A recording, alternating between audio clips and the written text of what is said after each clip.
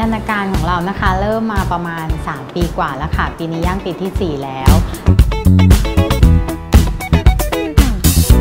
งานเนี่ยก็ทำในบ้านอะไรเงี้ยค่ะ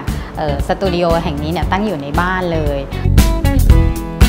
อยากจะทำโดยที่ไม่รู้สึกว่ามันคืองานนะคะ